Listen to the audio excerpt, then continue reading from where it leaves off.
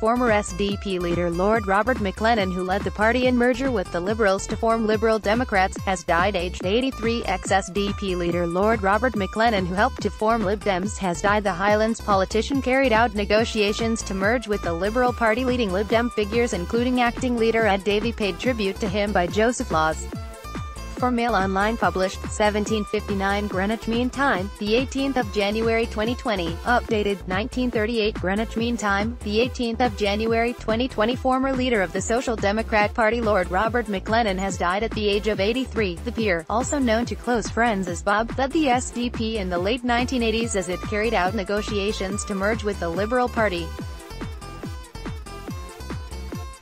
Lord Maclennan then became joint interim leader of the merged party.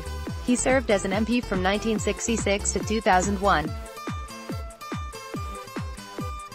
Lord Robert Bob Maclennan, who led the SDP in the late 1980s as it carried out negotiations to merge with the Liberal Party, has died at the age of 83. Acting leader of the Liberal Democrats Sir Ed Davey said, It is with a great sadness that we learn our friend and colleague Bob Maclennan has died. Bob was the kind of politician we all strive to be, considerate, honest and hardworking with an uncanny ability to reach out across the political spectrum to find common ground. He was also a great servant, over many decades, to his Highland constituents. A passionate advocate of devolution, he campaigned tirelessly for the creation of the Scottish Parliament and wider constitutional reform. The peer led the SDP in the late 1980s as it carried out negotiations to merge with the Liberal Party. He is pictured above with Liberal leader David Steel at a press conference in London Lord Maclennan, who was a Labour MP before joining the SDP. Was Parliamentary Undersecretary at the Department of Prices and Consumer Protection in the late 1970s Lord Maclennan became joint interim leader of the merged party.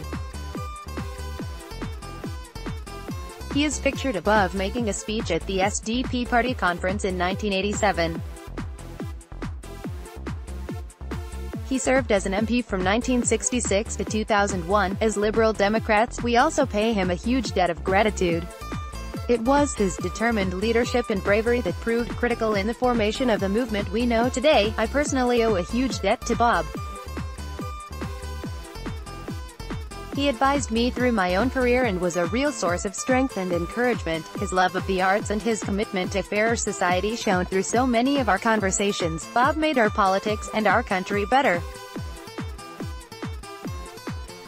He will be sadly missed and my thoughts and prayers go out to his family and friends, leader of the Liberal Democrats in the House of Lords, Dick Newby, said.